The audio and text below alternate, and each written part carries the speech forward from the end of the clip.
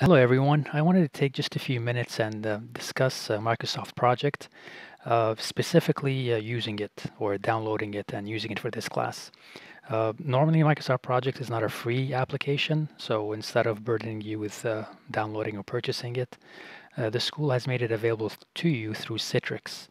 So uh, Citrix is a application that allows for remote access and uh, to get access to it, you first have to download something first. And then once you have access to Citrix, you will have access to Microsoft Project.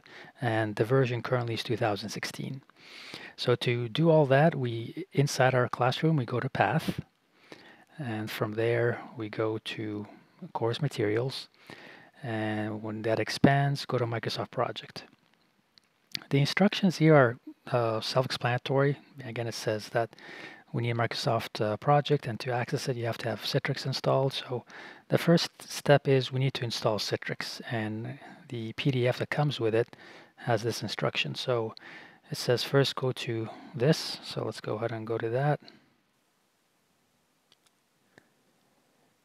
So that takes us to this page and as you can see here the again it kind of detected that I am on uh, Windows application or Microsoft Windows so it says download for Windows go ahead and click on that.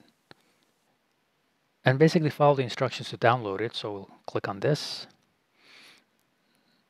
Now again, depending on which uh, browser you're using, I'm using Firefox. So this uh, window pops up. Click on Save File.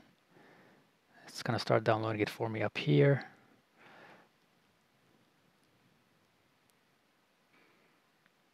And once it's complete downloading, I'm going to click on this and then click on the file that was downloaded.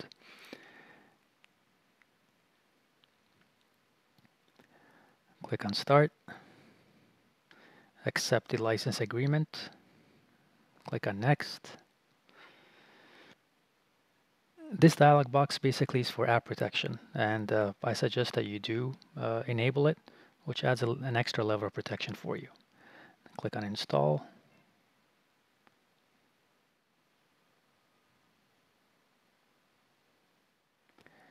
Okay, and once it's done installing, you should uh, receive this uh, dialog box and basically it says you could either just finish or add account.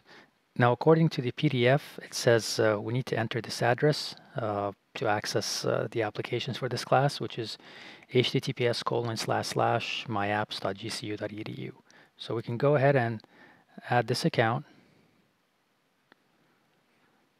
And https colon my apps.gcu.edu and I'll say don't show this automatically sign in click add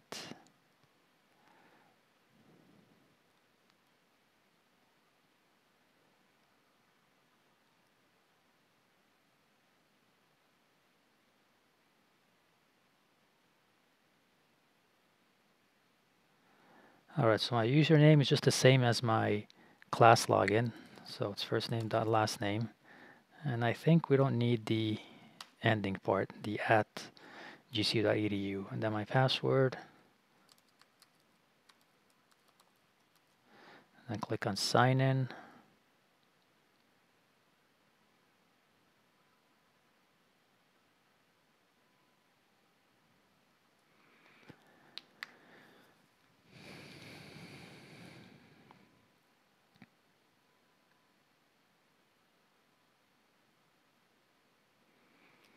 All right, and this pops up. We choose GCU store, hit select.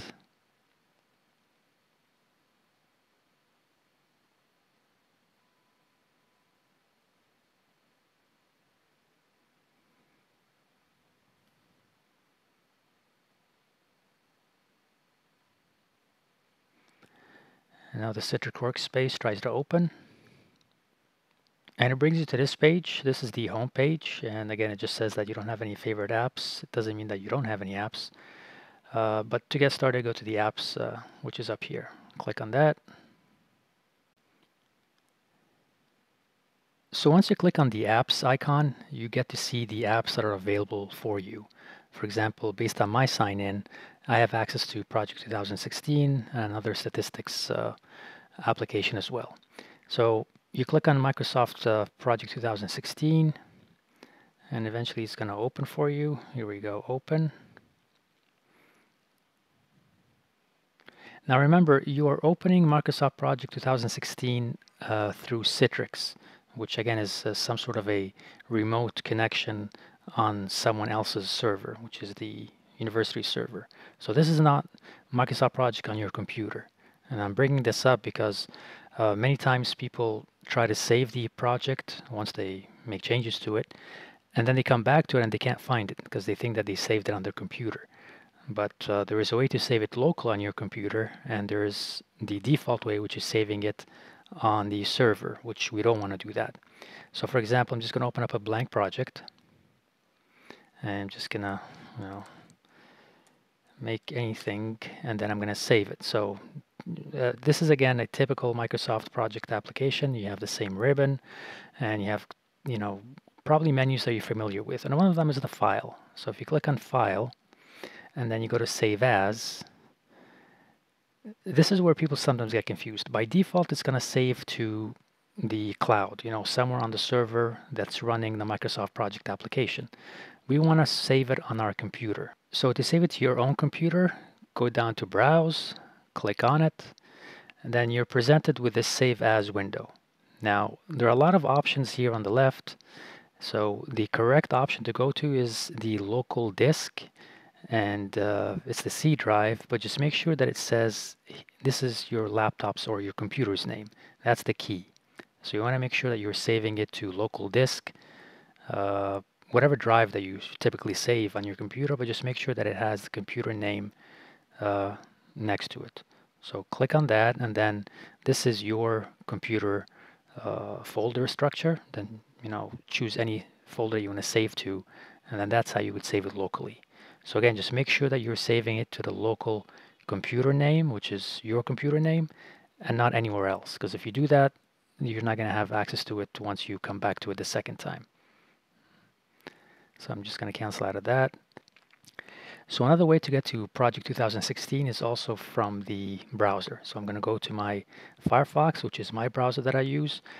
So I'm going to come up here and then type https colon slash slash my apps.gcu.edu and hit enter and this should give me a login screen for uh, the Citrix interface okay so again for the username it's the first name dot last name and then the password which again is the same password you use for your uh, LoudCloud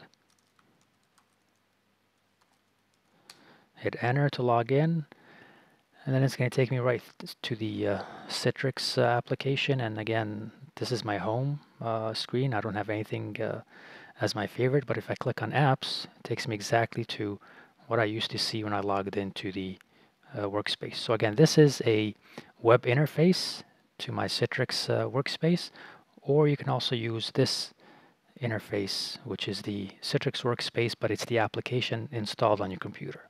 Okay, and both of these, the workspace as well as this uh, browser interface, they both give you access to Project 2016. Okay, which again is not installed locally on your computer. Project 2016 is installed on the uh, university servers, but through Citrix we gain access to using Microsoft Project 2016, so you don't have to purchase it or install it on your own computer. But just again, a word to the wise, when you come to saving it, please follow the steps I just shared with you a few moments ago.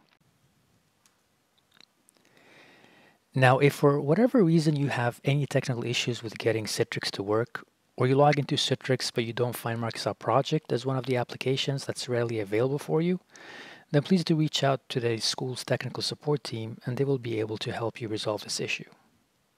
So to wrap up what we just covered in this video, I explained that in order to use Microsoft Project, which is the main application required to do our work for this class, we first need to install Citrix, this is a remote access application to allow us to access university servers, which should then give us access to a free version of Microsoft Project. And once we install Citrix, we can use the Citrix workspace on our computer to access Microsoft Project. We also learned that we can access Citrix through a web interface.